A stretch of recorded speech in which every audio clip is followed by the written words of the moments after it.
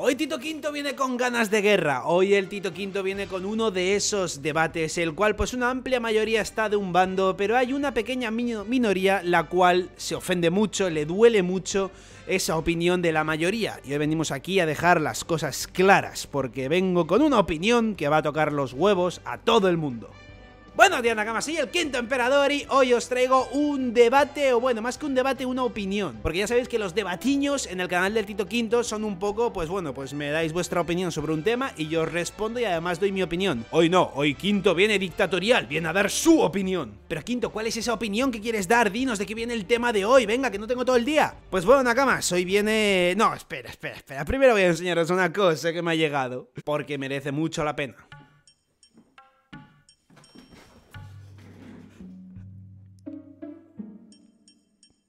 Bienvenido a la secta. Mirad el tamaño de este bicho, por el amor de Dios. O sea, lo siento, Nakama, soy fan, soy el número uno de la religión de los Roronoa porros. Es imposible que, aparte de un tatuaje, de un Goda sujetando un Roronoa porro, de una resina de más de 100 euros de un Roronoa porro y un mini Roronoa porro comprado en Japón, es imposible que al ver esto en los anuncios de Instagram no me lo comprara. Pero bueno, una vez enseñado eso, ahora sí que sin Nakama, el vicecapitán de los Mugiwara. ¿Quién es? Pues lo primero que quise hacer, obviamente, y a modo de sin chivar que era un vídeo ni nada para que la gente no estuviera condicionada, fue hacer una encuesta, en este caso en YouTube, aquí, en esta plataforma que todos amamos. Lo hice y con una muestra de 25.000 personas que votaron, estos fueron los resultados. Nami un 12%, Roronoa Zoro un 81% aplastante, otro Mugiwara un 1% y no hay capitán, no hay vicecapitán, perdón, 7%. De 25.000 votos, 20.200 fueron para Roronoa Zoro. Parece ser que hay un amplio consenso en general en toda la comunidad con que Zoro es el vicecapitán de los Mugiwaras y yo vengo aquí a discutir un poco, porque también ha habido mucha gente que defiende el hecho de que Nami, al ser un poco la navegante y quien de vez en cuando pone un poco de orden en la tripulación, es la vicecapitana real. Obviamente este vídeo es una opinión, con lo que todo lo que vaya a decir viene desde mi propio criterio, mi opinión y en base a lo que he visto y lo que yo entiendo como un vicecapitán no quiero decir que esté diciendo la verdad absoluta, sin embargo creo que se puede tener en consideración lo que voy a decir. Pero Nakama, antes de empezar con todo este análisis y esta opinión, me encantaría pedirte que si no estás suscrito al canal, vayas ahí debajo, le des al botoncito de suscripción para ayudarme a seguir creciendo y ya sí que sí una vez dicho esto, vamos a ver por qué Tony Tony Chopper es el vicecapitán de los Mugiwara. es broma, es broma. Como buen fanboy de Zoro, sí que diría que es la primera persona en la que Luffy confiaría, porque Oda ha hecho grandísimos esfuerzos por demostrar que Zoro es algo así como el perro más fiel de Luffy, su mano derecha, pero no por ello un vicecapitán. Y es que mi respuesta no se encuentra dentro de ningún Mugiwara por un motivo muy sencillo, y es porque en la tripulación de Luffy no hay un vicecapitán. Pero Quinto, puede ser que haya alguien que se asemeje un poco y se acerque un poco a vicecapitán. ¡No, no hay! Vamos primero a entender lo que es un vicecapitán, por lo menos desde lo que yo entiendo de qué es un vicecapitán y vamos a ver si estamos de acuerdo. Un vicecapitán es aquella persona el cual tiene el rol de que cuando el capitán no está disponible, no está en la tripulación, por el motivo que sea, ese vicecapitán es quien toma el poder y las riendas de la tripulación. Es decir, si no está Luffy, ¿quién toma el mando? Vosotros habéis visto que cuando Luffy está fuera de cobertura por cualquier razón, sea Zoro quien se ponga a dirigir y a dar órdenes a los demás Mugiwaras, ¿o has visto a Nami hacerlo? Efectivamente, dirás que sí. ¿Por qué? Porque todos los Mugiwaras lo hacen en mayor o en menor medida. Lo hemos visto hacer a Nami dirigiendo el Thousand Sunny en muchísimas ocasiones o incluso poniendo las pilas a personajes que no son Luffy, como por ejemplo a Sanji en Whole Cake dándole ese sopapo tan famoso que vimos. También se lo hemos visto a Jinbe, no solamente tomando las riendas también del Thousand Sunny al igual que lo hizo Nami, sino que incluso siendo Luffy todavía no capitán de Jinbe, este ya se encargaba, por ejemplo, de abrirle los ojos a Luffy cuando murió Ace post Marineford o haciéndole de protector absoluto dentro del propio Marineford cuando Luffy estaba totalmente ido e inconsciente. Y de Zoro también tenemos, recordemos ese clásico momento en Water 7 cuando Luffy y Usopp estaban discutidos, que fue Zoro quien se puso serio y ordenó a la tripulación una amenaza bastante clara. Y es que no podían permitir que gente como Usopp o cualquier otro Nakama, en principio, pues tuviera el gusto de dudar así de Luffy y de chantajearle tanto y de ahora me voy de la tripulación y ahora quiero volver. Y amenazó con que si Usopp volvía a la tripulación, siempre y cuando el propio Usopp no pidiera perdón por todo esto, sería él mismo, sería Zoro quien abandonaría la tripulación. Esto hizo que todos los Mugiwaras abrieran los ojos y se dieran cuenta de lo grave que era lo que estaba haciendo Usopp, y fue gracias a Zoro.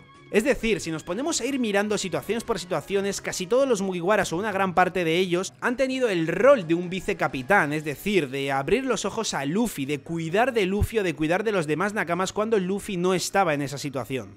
Y sí que puede ser que haya tal vez eh, Zoro un 5% más que Nami. Vale, perfecto.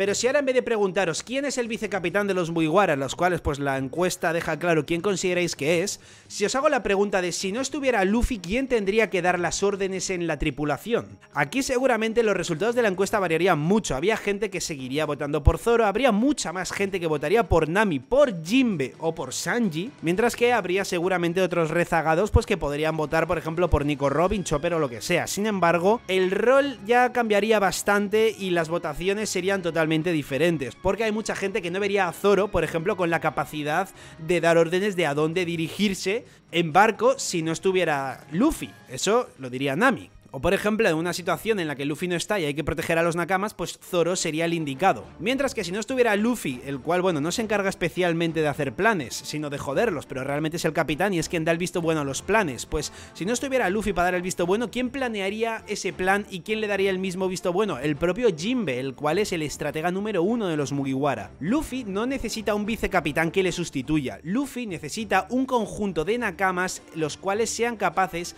de cubrir las cosas que Luffy no es capaz de hacer ni nunca será capaz de hacerlo una navegante que le lleve desde lo más alto del mundo como Skypiea hasta lo más profundo del mundo como la isla Yojin o por supuesto Laugh Tale. Un cocinero que le llene el estómago como él no sería capaz de hacerlo, como ya vimos ahí en ciertas situaciones donde no estaba Sanji. Un timonel con experiencia que dirija el barco con la ruta que Nami anteriormente ha trazado o un médico que traiga salud, un músico que traiga alegría y guerreros que puedan pelear o incluso proteger a los nakamas más débiles cuando no esté el propio Luffy para hacerlo. No existe un vicecapitán porque literalmente todos son vicecapitanes en esta tripulación, ya que cada nakama de Luffy tiene una aptitud digna de un gran pirata, las cuales el propio Luffy no tiene, como son la navegación, la cocina, la música, la carpintería o incluso la capacidad de cuando él no esté, tener a alguien ahí, tener un perro fiel el cual proteja a sus nakamas y haga que las misiones salgan adelante. De esta manera es como en la que yo me he dado cuenta de que aparte de que Luffy no necesita un vicecapitán porque puede confiar en todos por igual, Luffy lo que necesita son nakamas